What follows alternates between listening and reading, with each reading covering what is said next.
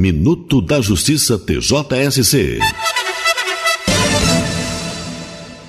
Pais serão indenizados por veiculação de matérias inverídicas sobre morte do filho.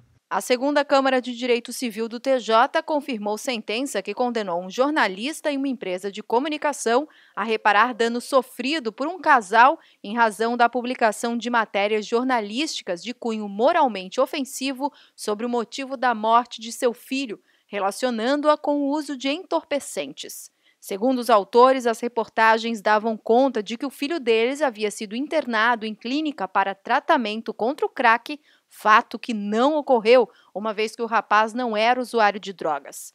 Para o desembargador Rubem Schultz, relator da matéria, tanto o jornalista quanto o jornal faltaram com cuidado na hora de confirmar as informações, numa demonstração de pouca preocupação com a reputação, honra e bom nome alheio.